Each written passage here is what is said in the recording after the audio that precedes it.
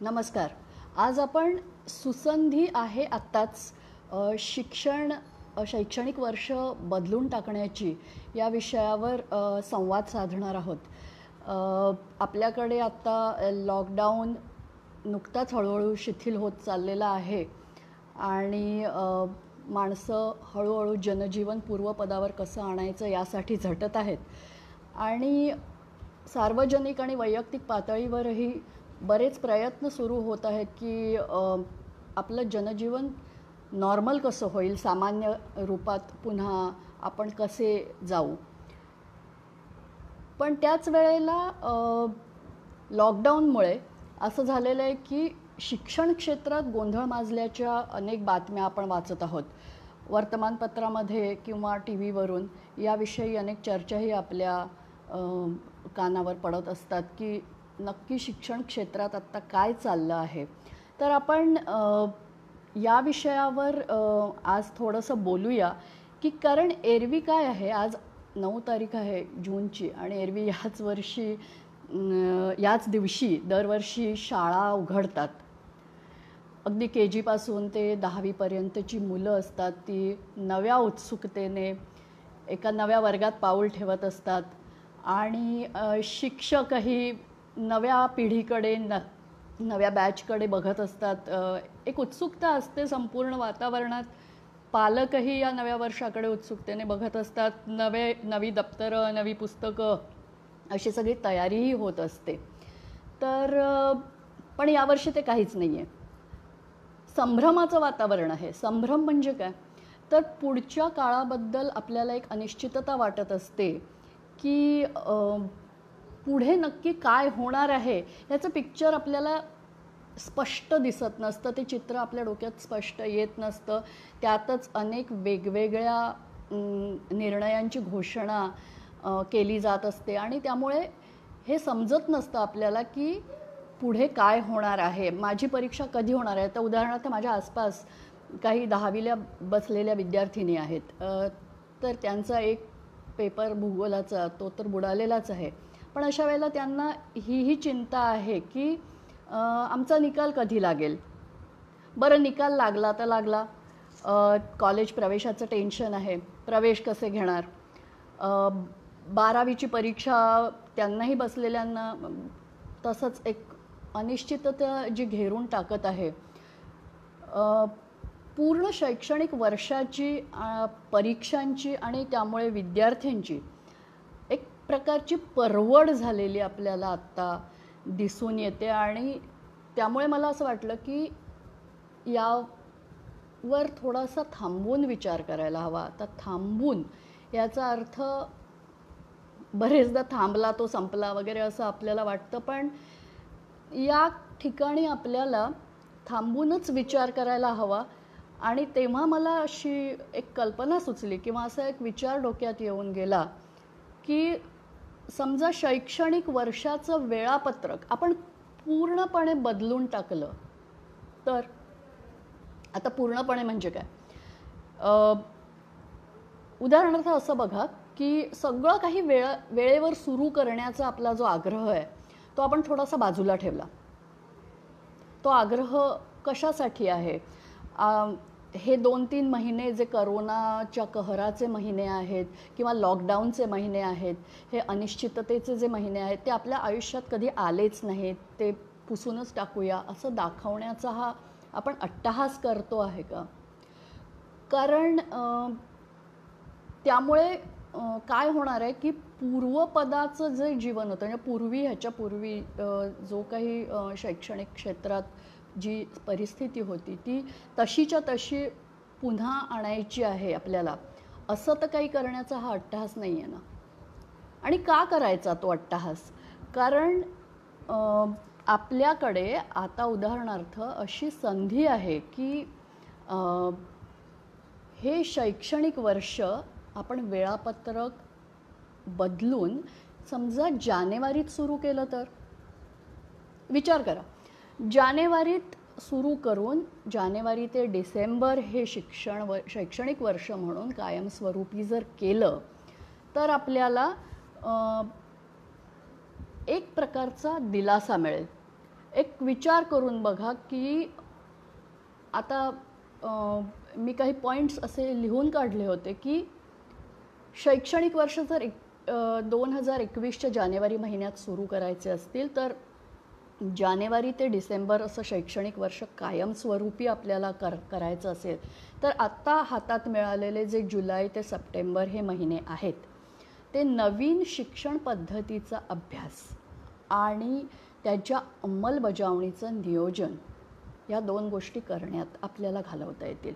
आपल्याला म्हणजे कोणाला? तर शिक्षण मंडळापासून ते अगदी वस्ती पातळीवरच्या गाव पातळीवरच्या शिक्षकां पर्यंत हे नियोजन आपण करायला पाहिजे आणि ह्यासाठी ही मिळालेली सुसंधी आहे असं मी आधीच म्हटलं आहे या विषयाच्या शीर्षकामध्ये सुद्धा की ही एक सुसंधी आहे एक सुवर्णसंधी आहे म्हणून ह्याच्याकडे आपण बघायला पाहिजे. तर चालू शैक्षणिक वर्षाच्या ज्या रखडलेल्या परीक्षा आहेत त्या आपण येत्या ऑक्टोबर किंवा नोव्हेंबर महिन्यामध्ये घेतल्या. तर आणि डिसेंबरमध्ये त्यांचे निकाल जाहीर करून नव्या उमेदीने एका नव्या उत्साहाने आपण जानेवारीपासून नव्या वर्षाला सुरुवात करू. जेव्हा नवी नवीन वर्षही नवीन आहे कॅलेंडर इयर नवीन आहे त्याच वेळेला शैक्षणिक वर्षही नवीन असेल आपला उत्साहही असेल त्यावेळेला. आपला म्हणजे अर्थातच शिक्षकांचा आणि विद्यार्थ्यांचा आणि पालकांचा. तर या अनुषंगाने अनेक प्रश्न विचारले जाऊ शकतात की प्रवेश परीक्षांचं काय जेईच्या परीक्षा असतात नीटच्या परीक्षा असतात किंवा इतर काही कोर्सेसच्या प्रवेश परीक्षा असतात. तर अशा गोष्टींचं काय? तर तेही आपल्याला त्यानुसार करावं लागेल आणि ह्यामुळे माझं असं म्हणणं आहे की हा निर्णय देशपातळीवर घेतला जायला हवा. कारण प्रत्येक राज्यात आज परिस्थिती वेगवेगळी आहे. लॉकडाऊनमुळे बरीच जी राज्य आहेत ती गांजलेली आहे तिथे काही नवीन सुधारणा किंवा नवीन आत्ता काही सुरू करण्याचा उत्साह कोणाचा उरलेला नाही आहे अशा वेळेला आपण एक सहा महिन्यांची गॅप घेतली.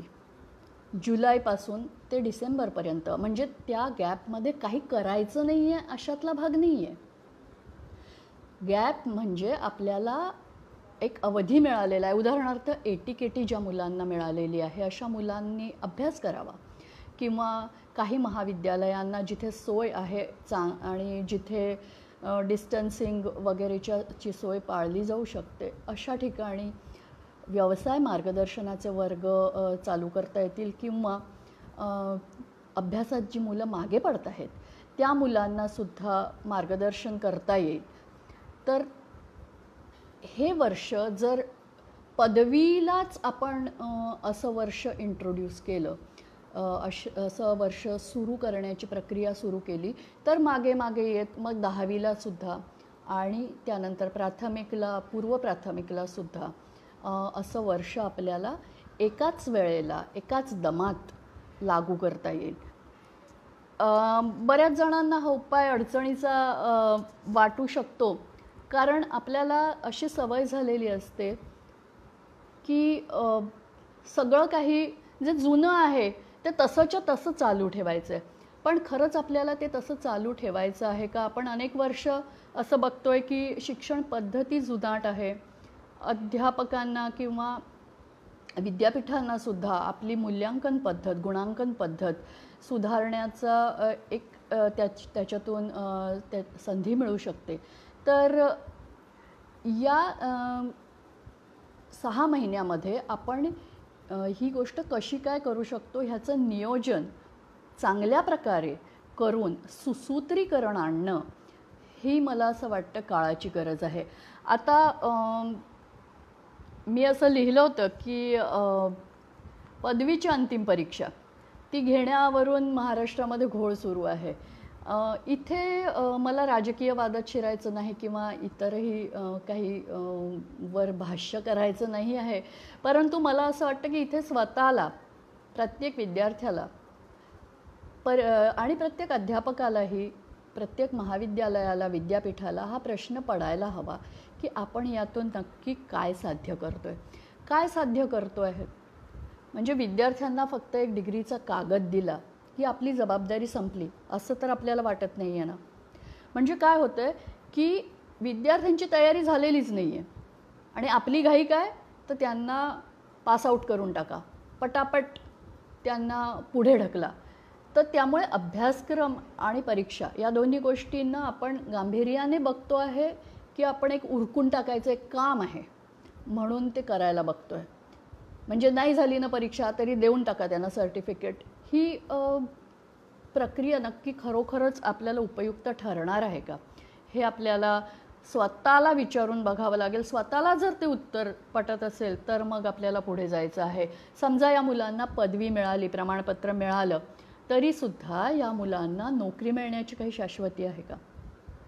हाही प्रश्न त्यानंतर उभा राहतो. कारण परीक्षा देऊन किंवा न देताही जी मुलं पास झालेली असतील त्यांना पदव्युत्तर शिक्ष काही थोडी मुलं पदव्युत्तर शिक्षणासाठी अर्ज करतील ती सोडून.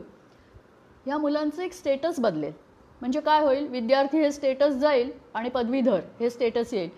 पण ही मुलं जुलैपासूनच किंवा ऑगस्टपासूनच पदवीधर बेरोजगारांच्या यादीत ढकलली जातील ह्याचा आपण विचार केला आहे हे मी अशासाठी म्हणते कारण करोना हा विषय असा आहे किंवा त्याची लागण झालेले देशसुद्धा असं सांगतात की म्हणजे त्या त्यांच्या परिस्थितीकडे आपण नजर टाकली तर आपल्याला असं लक्षात येईल की आर्थिक स्थिती जर डळमळीत असेल तर विद्यार्थ्यांना आणखीन विद्यार्थ्यांना बेरोजगारांच्या यादीत ढकलून आपण काय साध्य करणार आहोत? माझ्या ओळखीचा एक मुलगा आहे. तर तो अगदी मोठ्या उमेदीने इंजिनियर वगैरे झाला दोन वर्षापूर्वी. त्याच्यानंतर म्हणजे तो सधन घरातला आहे. त्याच्यामुळे त्याच्या आईवडिलांनी पुष्कळ पैसे खर्च करून त्याला अमेरिकेला पाठवलं आणि त्याला पदव्युत्तर शिक्षण दिलं उच्च शिक्षण दिलं. आता तो दोन वर्षांनी पदव्युत्तर शिक्षणसुद्धा त्याचं पूर्ण झालेलं आहे. आणि तेवढ्यातच हा करोनाचा लॉकडाऊनचा काळ सुरू झाला अमेरिकेत.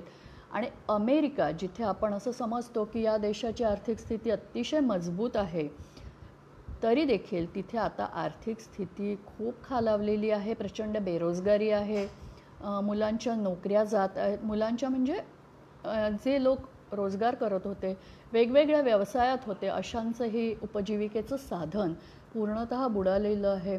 लाखो लोकांचे रोजगार या काळामध्ये गेलेले आहेत. तर अशा परिस्थितीत हा मुलगा तिथे असताना इतक्या नवख्या पदवीधारकाला तिथे नोकरी देणार कोण? त्यामुळे प्रश्न हा उभा राहतो की आपल्याला नक्की पदवीसुद्धा घेतली किंवा उच्च शिक्षण जरी घेतलं तरी जर नोकरीची शाश्वती नसेल तर मग आपण त्यांना पदवीधारक करून नक्की त्याच्यातून काय साध्य करणार आहोत? स्वप्न भंगण्याचे दिवस आहेत तर त्यामुळे थोडं थांबण्याचं आणि थोडं थांबून निर्णय घेण्याची आपल्याकडे आपल्याला आता वेळ आलेली आहे. तर नोकऱ्यांच्या बाबतीत मी जसं म्हटलं की औद्योगिक आणि आर्थिक विश्वाचा संपूर्ण चेहरा मोहरा येत्या काळात बदलणार आहे. आणि बऱ्याच अर्थतज्ज्ञांनी ही भविष्यवाणी वर्तवलेली आहे की येत्या काळात नोकऱ्यांचं स्वरूप बदलेल व्यवसायांचं स्वरूप बदलेल नक्की काय करायचं कुठे सुसंधी आहेत कुठे नोक रोजगाराच्या संधी आहेत या आपल्याला तपासून बघावं लागेल. आणि त्यामुळेच येत्या काळातली आव्हानं जी वेगळी असणार आहेत नवीन आव्हानं असणार आहेत त्यासाठी वेगळ्या प्रकारच्या क्षमता विद्यार्थ्यांच्या अंगी याव्यात. म्हणून अध्यापक वर्गाला शिक्षक वर्गाला त्यासाठी खूप प्रयास करावे लागणार आहेत आणि त्यासाठी त्यांनी स्वतःची ची जी क्षितिजी आहेत ती रुंदावण्याचा प्रयत्न त्यांना खूप मोठ्या प्रमाणात करावा लागणार आहे. आणि ती एक गरज आहे येत्या काळातली आव्हानं जी असतील म्हणजे उदाहरणार्थ इंजिनियर्सची गरज कमी होईल उदाहरणार्थ इंजिनियर्सची गरज कमी होईल आणि कदाचित शेती आणि शेतीपूरक व्यवसाय यांना जास्त मागणी येईल. कारण अन्नाची गरज सगळ्यांनाच आहे त्यामुळे शेतीवर अवलंबून असणं किंवा शेती चे जोडधंदे जे आहेत किंवा शेतीपूरक व्यवसाय असं ज्याला म्हटलं जातं फळ प्रक्रिया किंवा अन्न प्रक्रिया उद्योग जे आहेत त्या उद्योगांना कदाचित जास्त मागणी येईल. त्याच्यामुळे आपल्या संपूर्ण शिक्षणाचे जे चॉईसेस आहेत करिअर चॉईस असं ज्याला म्हटलं जातं ते बदलण्याचा खूप मोठ्या प्रमाणावर संभव आहे. आणि त्यामुळे आपल्याला थोडं थांबून या परिस्थितीचा वेध घेतला पाहिजे. ओपन जॉब मार्केटमध्ये मुलांना नुसतंच ढकलायचं आणि मग त्यांच्याकडून काहीतरी अपेक्षा ठेवायच्या की तुला जॉब मिळालाच पाहिजे. असं आता यापुढे होईल असं मला वाटत नाही. कारण काय आहे की या बाबतीत मला एक जोक सांगावासा वाटतो. की मला एक जोक हल्ली व्हॉट्सॲपवरून येतात तर एक जोक कोणीतरी पाठवला की इंटरव्ह्यू चालू असतात एका जॉबसाठी आणि तिथे बरेच तरुण बसलेले असतात. आणि त्या एका तरुणाला विचारलं जातं की तू किती साली पदवी मिळवलीस किंवा किती साली पासआउट झालास? तर तो म्हणतो की दोन हजार वीस साली झालो. तर त्याला सांगितलं जातं की तू चल बाजूला बाहेर बस. आणि त्याला डावलून बाकीच्यांची परीक्षा बाकीच्यांची इंटर इंटरव्ह्यू जी मुलाखत असते ती घेतली जाते. तर हा जो प्रकार आहे हा जोक म्हणून थोडासा विनोदाचा भाग म्हणून आपण बाजूला ठेवला तरी हे खरंच घडणार नाही ना अशी मला भीती चाटून गेली माझ्या मनाला. कारण काय आहे की वीस वीस साली म्हणजे या साली यंदाच्या वर्षी पासआउट झालेल्यांच्या क्षमतेविषयी लोक प्रश्नचिन्ह उभं करतील. यांनी परीक्षाच दिलेली नाही आहे मग हे पासआउट झाले कसे? मग यांच्या अंगात ती क्षमता आहे का? अशी अशा शंका उपस्थित केल्या जाऊ शकतील आणि त्यामुळे मला असं वाटतं की थोडं गांभीर्याने या विषयाकडे बघून ऑक्टोबर महिन्यात किंवा ऑक्टोबरच्या शेवटच्या आठवड्यात नोव्हेंबरच्या पहिल्या आठवड्यात अशा परीक्षा घेऊन डिसेंबरपर्यंत त्याचा निकाल लावून जानेवारीत वर्ष सुरू करण्याची गरज मला स्वतःला इथे जाणवते. आणि त्यासाठी थोडा संयम राखण्याची गरज आहे. आपल्याला अगदी स लगेचच नव्याने सुरू करण्याची गरज आहे असं मला स्वतःला जाणवत नाही आहे हा माझा पर्सनल विचार आहे. महाविद्यालयीन शिक्षणात सुद्धा आपण बघायला गेलं तर कित्येक त्रुटी आहेत. मी असं मगाशीच म्हटलं की मूल्यांकन आणि गुणांकन पद्धत रेटिंग सिस्टम्स या बदलायला हव्या आहेत. असं अनेक शिक्षणतज्ञांचं मत आहे. आपली शिक्षण पद्धती जुनाट आहे असं आपण वारंवार ऐकतो. आणि ती आंतरराष्ट्रीय पद्धतींशी मेळ राखून सुसंगत केली पाहिजे असंही आपण सतत ऐकत असतो. तर त्यासाठी हा कालावधी का वापरू नये? जो जुलै ते डिसेंबर हा कालावधी आपल्याला मिळेल हातामध्ये तो त्यासाठी वापरावा. असं माझं स्वतःचं मत आहे. तर आणि हा वरच्या पातळीवरून प्रयास व्हायला हवा आहे. आता पदवी परीक्षेचं मी आत्ता इतका वेळ बोलले पण आता अजून दहावीचं वर्ष आहे. दहावीच्या वर्षाचं मगाशी मी म्हटल्याप्रमाणे एक परीक्षा तर बुडलेलीच आहे. तर त्याचे सरासरी गुण धरतील निकाल लावतील. पण दरवर्षी आपण बघतो की करोना नाही लॉकडाऊन नाही अशीही जेव्हा नॉर्मल परिस्थिती असते सामान्य परिस्थिती असते अशा वेळेलाही जेव्हा दहावीचे निकाल जूनच्या पहिल्या आठवड्यात लागतात त्यानंतरही अकरावीची प्रवेश प्रक्रिया ही अत्यंत किचकट आणि वेळखाऊ प्रक्रिया आहे. त्याच्यामध्ये असं होतं की मग पहिली यादी येते मग दुसरी येते मग तिसरी येते मग चौथी येते असं असं करत करत त्या याद्यांच्या पायऱ्या ओलांडत जेव्हा एखादं मूल किंवा एखादा विद्यार्थी कनिष्ठ महाविद्यालयाच्या पायऱ्या चढतो तेव्हा सप्टेंबर महिना उजाडलेला असतो. ही परिस्थिती एरवीच्या वर्षांची आहे. मग यावर्षी जेव्हा पेपर तपासण्याही पूर्ण झालेल्या नाही आहेत किंवा काही ठिकाणी पेपर तपासण्याची प्रक्रियाही सुरू झालेली नाही आहे अशा ठिकाणी आपण अकरावीचे प्रवेश कसे काय करणार आहोत आणि ते कधी होतील? आता कोणीतरी म्हणतं की किंवा असे सल्ले अनेकदा दिले जातात की अरे मग काय अभ्यासक्रम कमी करून टाका ना. दहा महिन्याचा अभ्यासक्रम कशाला आठ महिन्याचा कशाला सहाच महिन्यात करा. तर मला असं वाटतं की हा एक घिसाडघाईने घेतलेला निर्णय असेल. कारण समजा मी तुम्हाला एक उदाहरण देते. एखादं घर आहे आणि तिथे रोज भाकऱ्या खाणारे लोक आहेत. आणि अशा वेळेला आई म्हणते की अरे आज पीठ संपलेलं आहे. प्रत्येकाला दोन दोन भाकऱ्या नाही. प्रत्येकाला एक एक किंवा अर्धी अर्धी भाकरी खावी लागेल. तर तेव्हा ते आपण स्वीकारतो. परंतु हेच उदाहरण जर आपण एखाद्या सायकल कारखान्याला लावलं आणि सायकल कारखानावाला म्हणाला की अरे आज माझ्याकडे टायर नाही आहेत ट्युबा नाही आहेत तर मग पण मला सायकल पुरवठा करायची आहे तर मी दोन चाकी सायकल न बनवता एकच चाकी बनवतो एकच टायर लावतो. तर असं चालू शकेल का?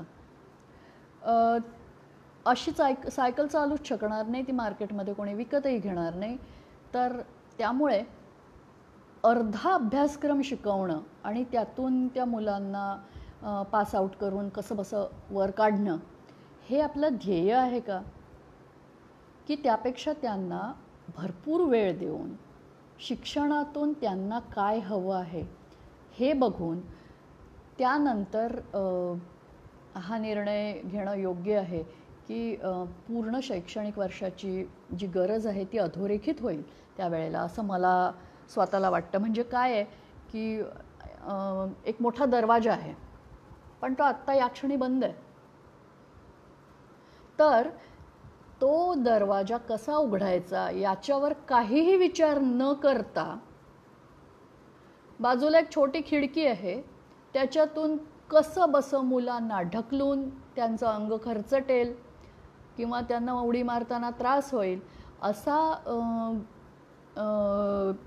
त्यांना ढकलण्याची जी प्रक्रिया आहे ती आपण स्वीकारणार आहोत. ह्यातलं नक्की आपण काय स्वीकारणार आहोत? तो दरवाजा उघडण्याची आपण वाट पाहणार आहोत किंवा दरवाजा उघडण्याचा स्वतः प्रयत्न करणार आहोत? वाट पाहणार आहोत म्हणण्यापेक्षाही. स्वतः प्रयत्न करून त्या दरवाजावर धडक देऊन तो मोठा दरवाजा उघडावा. त्यातून सगळी मुलं सगळेजण आरामात पुढे जातील अशा तऱ्हेने प्रयत्न व्हावे असं माझं मत आहे. दुसरं असं आता आपण पदवी बघितली त्याच्यानंतर दहावीच्या परीक्षा बघितल्या कारण त्याच्यानंतर अकरावीची प्रवेश प्रक्रिया आहे. तीच गोष्ट प्राथमिक शाळांची सुद्धा आहे.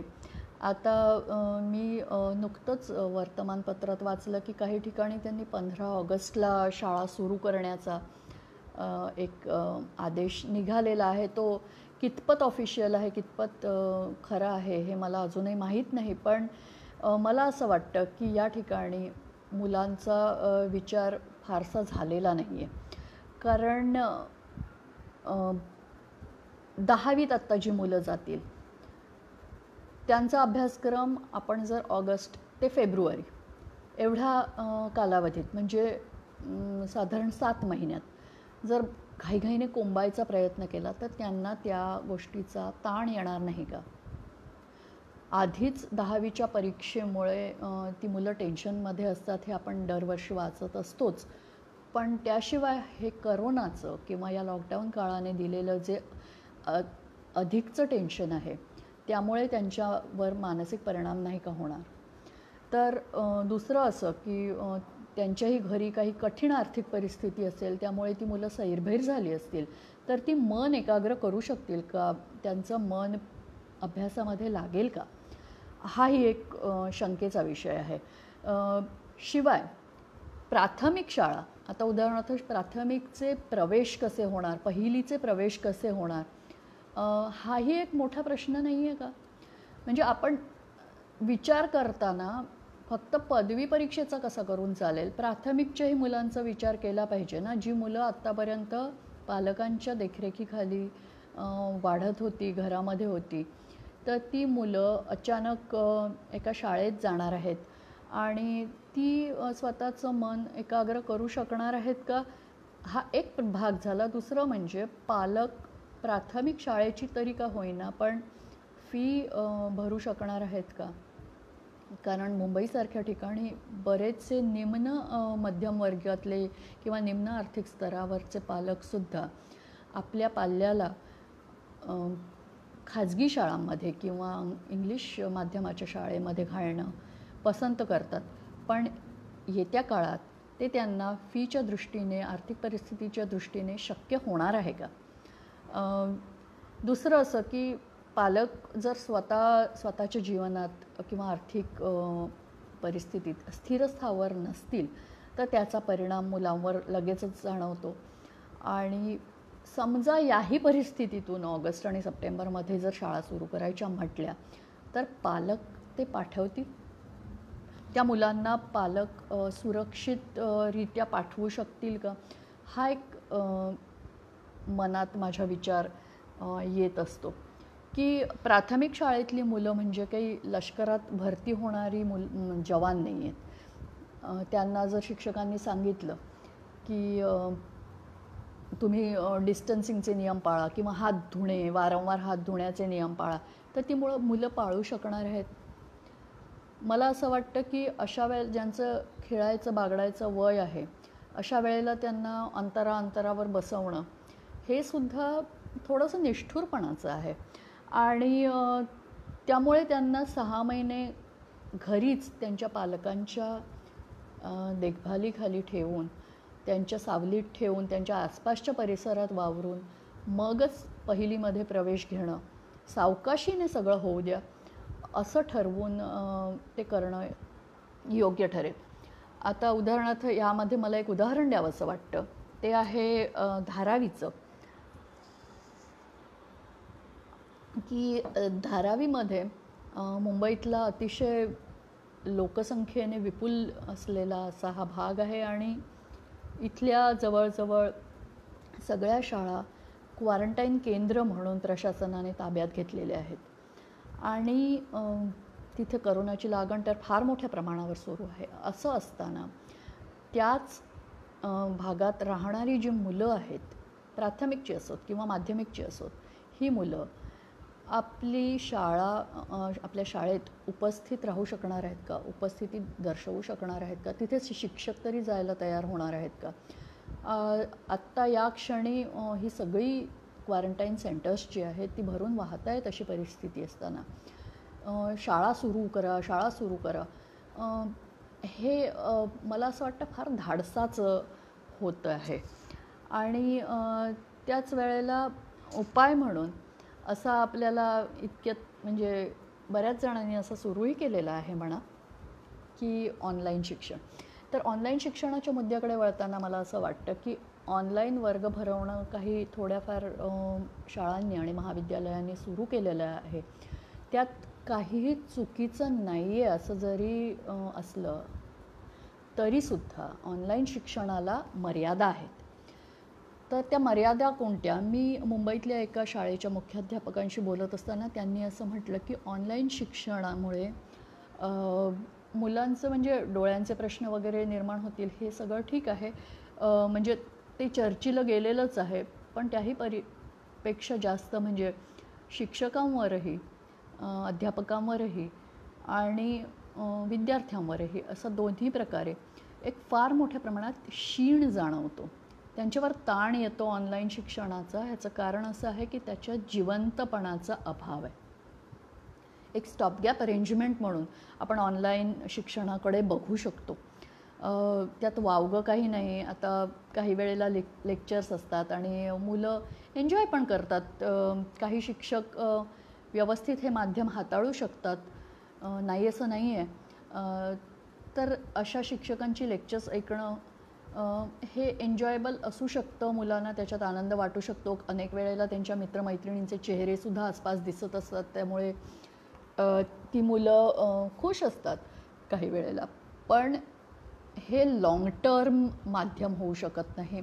पूर्ण वर्षभर अशा पद्धतीने शाळा किंवा कॉलेज भरवलं जाऊ शकत नाही.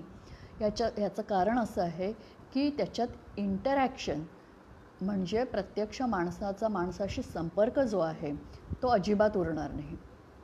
एक यंत्रवत क्रिया म्हणून आपण शिक्षणाकडे जर बघत असू तर भाग वेगळा. पण आपल्याला जर जिवंत माणसाला शिक्षण द्यायचं आहे तर मग प्रत्यक्ष संपर्क असणं मुलांनी वर्गात प्रश्न उपस्थित करणं त्याला शिक्षकांनी उत्तर देणं कॉरिडॉरमध्ये थांबून एकमेकांशी चर्चा करणं शंका विचारणं किंवा काही डिस्कशन्स करणं हा महाविद्यालयीन किंवा विद्यालयीन जीवनाचा एक अतिशय महत्त्वाचा भाग आहे. त्यामुळे ऑनलाईन शिक्षणाला मर्यादा आहेत. आणि याही पलीकडे मला जाऊन असं वाट म्हणायचं आहे की अर्थात बऱ्याच जणांकडे इंटरनेट नसतं वीज पुरवठा नसतो अतिशय आधुनिक असे स्मार्टफोन्स नसतात. त्यामुळे तर मर्यादा आहेतच म्हणजे तंत्रज्ञानाच्या आहेतच. पण त्याही पलीकडे जाऊन मला असं वाटतं की जिथे जिवंत सळसळत्या तरुणाईचा वावर नाही ते शिक्षण कसलं? म्हणजे चौदा ते वीस हा जर वयोगट आपण बघितला तर तो एक प्रचंड ऊर्जेने भरलेला असतो. आणि अनेक नवे नवे उपक्रम हातात घेण्याचा एक उत्साह असतो एक उमेद असते. नवनवे उन्मेष त्याला करायचे असतात बऱ्याच गोष्टी शिकायच्याही असतात आणि बऱ्याच गोष्टी त्याला करून दाखवायच्या असतात ज्या शारीरिक आहेत म्हणजे ज्याच्यामध्ये ट्रेकिंग आहे किंवा मुलं पोहायला जातात नाटकात भाग घेतात गाणी म्हणतात शिवाय नृत्य करतात वेगवेगळ्या स्पर्धांमध्ये भाग घेतात अनेक प्रकारचे खेळ खेळतात. आणि अशातून जी एकमेकांशी इंटरॅक्शन होते समाजात जे त्यांचं वावरणं आहे सा समाज शिक्षण जे त्यांचं होतं सामाजिक म्हणजे सामाजिक बाबतीतलं जे शिक्षण होतं ते शिक्षण अतिशय त्यांच्यासाठी पुढच्या जीवनासाठी पुढच्या भविष्यासाठी त्यांच्या पायाभरणीचं असतं. त्यामुळे ते तसंच झालं पाहिजे. जर ऑनलाईनपर्यंतच आपण शिक्षणाची मर्यादा ठेवत असू किंवा ऑनलाईनवर सगळं होऊन जाईल असं जर म्हटलं तर ते एकांगी आहे. तर त्याच्यामुळे मला असं वाटतं की थोडंसं थांबा संयम ठेवा. जानेवारीत नवीन शैक्षणिक वर्ष सुरू करण्याची मागणी लावून धरा. आणि ह्याच्यामध्ये शिक्षण तज्ज्ञांना किंवा विद्यार्थ्यांना पालकांना सुद्धा मी असं आवाहन करते की त्यांनी ज्या होईल त्या मार्गाने याच्यावर विचार करण्यासाठी मनुष्यबळ विकास खातं जे आहे त्यांना भाग पाडलं पाहिजे. मला असं वाटतं की जानेवारीपर्यंत करोनाचे साथ बऱ्याच प्रमाणात ओसरेल आणि आपल्याला सगळ्यांना रोजच्या व्यवहारात एक थोड्याफार प्रमाणात का होईना स्थैर्य लाभेल अशा विचाराने मी जानेवारीचा प्रस्ताव मांडलेला आहे. शैक्षणिक वर्ष हे जानेवारी ते डिसेंबर करण्याची कल्पना म्हणजे मूळ कल्पना ही माझी नाही आहे अनेक शिक्षण तज्ज्ञांनी मागेसुद्धा बोलून दाखवलेली आहे ही कल्पना. म्हणजे जेव्हा करोना नव्हता अशा वेळेला सुद्धा या संकल्पनेवर काही लोकांनी काम केलेलं आहे. काही शिक्षण तज्ज्ञांनी त्याच्यावर विचार केलेला आहे. तर आणि मी त्या संबंधात वाचलेलंही होतं. त्यावेळेला तसा निर्णय घेण्याची धडाडी कोणी दाखवली नव्हती. कारण मला असं वाटतं पूर्व पूर्वंपार जे चालत आलेलं आहे तेच चालू ठेवण्यात आपल्याला एक थोडासा आनंद असतो की बाबा चालू आहे सगळं. पण मुळात जून ते एप्रिल हे शैक्षणिक वर्ष हे ब्रिटिशांनी ठरवलं होतं. त्यां शिक्षण पद्धतीसुद्धा आपण त्यांची अजून थोडीशी जुनाट असली तरी तीच वापरतो. तर ब्रिटिशांना भारतातला मे महिन्यातला उन्हाळा सहन व्हायचा नाही. तर त्यामुळे त्यांनी जून ते एप्रिल असं शैक्षणिक वर्ष ठरवलं होतं. तर प्रत्यक्षात वास्तव काय आहे की जून महिन्यात पावसाला सुरुवात होते. जूनच्या पंधरा तारखेनंतर तर बऱ्याच भागांमध्ये पाऊस सुरू होतो आणि त्यामुळे शेतीची कामं वाढतात. पेरणीची कामं सुरू होतात. शेतीची च्या ग्रामीण भागातली जी मुलं आहेत ती शाळांमध्ये येऊ शकत नाहीत. मी स्वतः आदिवासी बहुल भागांमध्ये काम करते. तिथे मी असं निरीक्षण केलं की त्यांच्या ज्या वर्गांच्या खोल्या आहेत त्या चिप्प ओल्या भिजलेल्या असतात. त्यांचं शैक्षणिक साहित्य भिजलेलं असतं. त्या मुलांना प्रवास करण्याची तितकीशी सोय नसते. ती मुलं आजारीही पडतात अनेकदा पावसामुळे पडतात आणि त्याही वर शेतीच्या कामांचा तगादा असतो. त्यामुळे ती मुलं शाळेला बुट्ट्या मारतात. शाळेत उपस्थिती कमी असते पावसाळ्यामध्ये. तर अशा वेळेला त्यांना सुट्ट्या देण्याचं सोडून आपण काय म्हणतो की नाही जूनमध्ये आता नवीन वर्ष आहे. तर त्याच्यानंतर काय होतं? जून जुलै ऑगस्टचे महिने असे जातात. सप्टेंबरमध्ये सण येतात. गणपती दसरा त्याच्यानंतर दिवाळीची दीर्घ सुट्टी असते. अशा वेळेला अनेक ब्रेक घेत घेत घेत गाडी रखडावी. तसं ते आपलं शैक्षणिक वर्ष सुरू राहतं. आणि त्याच्यामध्ये खरोखरच अध्यापनाचे तास किंवा दिवस किती घेतले जातात ते आपल्याला सगळ्यांना बघायला मिळतं. म्हणजे अध्यापकांनाही ते मा मनोमन माहीत असतं की आपण किती अध्यापनाचे तास घेतले किंवा विद्यार्थ्यांनाही माहीत असतं की नक्की किती लेक्चर्स झाली किती बुडाली.